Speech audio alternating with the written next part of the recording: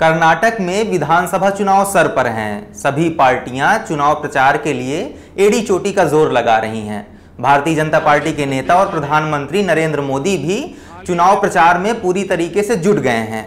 एक मई को अपने कर्नाटक मिशन की शुरुआत में उन्होंने एक जनसभा को संबोधित करते हुए सीएम सिद्धारमैया के दो सीटों से चुनाव लड़ने को लेकर सवाल उठाए थे। हालाँकि वो लोकसभा चुनावों में खुद भी दो सीटों से चुनाव लड़ चुके थे। कर्नाटक में सीएम सिद्धारमैया सिर्फ़ अकेले नहीं हैं जो दो सीटों से लड़ रहे हैं, वो चामुंडेश्वरी और बादामी सीट से चुनाव लड़ रहे हैं। उनके अलावा भी कई और नेता, कई बड़े नाम हैं जो दो सीटों से चुनाव लड़ रहे हैं।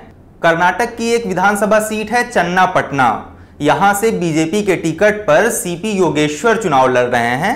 सीपी योगेश्वर एक बड़े जमीनी नेता हैं। वो आ, उनके लिए पार्टी का उतना महत्व तो नहीं है। पिछले 2013 के चुनावों में उन्होंने समाजवादी पार्टी के टिकट पर लड़कर चुनाव जीत लिया था। उस क्षेत्र में वोकालीगा समुदाय की संख्या ज़्यादा है और वो वोकालीगा समुदाय के बड़े नेता माने जाते हैं। इस सीट पर उन्होंने 2013 में एच डी कुमारस्वामी की पत्नी अनीता को, जो जेडीएस के बड़े नेता, या कहें कि प्रदेश अध्यक्ष हैं, उनकी पत्नी को हराया था। इस बार जेडीएस के प्रदेश अध्यक्ष एच डी कुमारस्वामी ने खुद सीपी योगेश्वर को चुनौती देने का फैसला किया है। लेकिन एच डी कुमारस्वामी जानते हैं कि यहाँ से मुकाबला मुश्किल हो सकता है। सीपी योगेश्वर उनको मात भी दे सकते हैं, इसीलिए उन्होंने एक ट्रिक चली। उन्होंने एक और सीट से पर्चा दाखिल कर दिया है। जनता दल सेकुलर के अध्यक्ष एच डी कुमारस्वामी ने एक और सीट रामनगर से पर्चा दाखिल कर दिया है। रामनगर जेडीएस का गढ़ माना जाता है।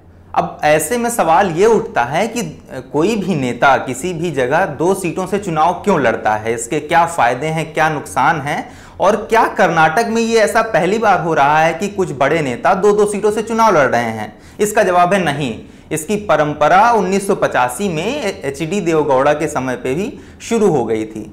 साल 1985 की बात है। एच डी देवगौड़ा और पुट्टा स्वामी दो राजनीतिक नेता थे और दोनों बहुत करीबी माने जाते थे। 1985 में पुट्टा स्वामी ने देवगौड़ा का साथ छोड़ने का फैसला किया और उन्होंने जाकर कांग्रेस पार्टी ज्वाइन कर ली। ये बात देवगौड़ा को नागवार गुजरी। उन्होंने कांग्रेस के साथ जाके साठ गांठ की और एक ही सीट से, जिस सीट से पुट्टा स्वामी चुनाव लड़ रहे थे, उसी सीट से उन्होंने भी चुनाव लड़ने का फैसला किया। होले नारसीपुरा सीट के हाल ये थे कि वहाँ से पुट्टा स्वामी का वोट बैंक बहुत मज़बूत माना जाता था। कांग्रेस ने एच डी देवगौड़ा के प्रस्ताव को स्वीकार कर लिया और वहाँ से पुट्टास्वामी का टिकट काट दिया और उन्हें निर्दलीय चुनाव लड़ना पड़ा। इस सीट पर देवगौड़ा 2000 वोटों से चुनाव जीत गए। पुट्टास्वामी दूसरे नंबर पर रहे, क्योंकि वो निर्दलीय चुनाव लड़ रहे थे। इसके बाद उन्नीस के चुनावों में भी एच डी देवगौड़ा दो सीटों से चुनाव लड़े थे, होलनारसीपुरा से और कनकपुरा से। उन्होंने इस अपनी रवायत को 2014 लोकसभा चुनावों में भी जारी रखा और उन्होंने कनकपुरा और हसन दो लोकसभा सीटों से 2004 में चुनाव लड़ा था। इतिहास एक बार फिर से दोहराया जा रहा है। 1985 में एच डी देवगौड़ा की ही तरह 2018 में एच डी कुमारास्वामी अपने राजनीतिक प्रतिद्वंदी सीपी योगेश्वर को चन्ना पटना सीट से हराना चाहते हैं। वो खुद यहाँ से प्रत्याशी बने हैं और उन्होंने कांग्रेस से साठ गांठ कर ली है। ऐसा अंदर खाने में बात आ रही है, सूत्रों के हवाले से ऐसी बातें आ रही हैं कि उन्होंने कांग्रेस पार्टी से साठ गांठ करके वहाँ से एक कमज़ोर प्रत्याशी उतरवा दिया है, जिससे एस डी देवगौड़ा की राहें आसान हो जाए और सीपी योगेश्वर को हराना आसान हो जाए उनके लिए।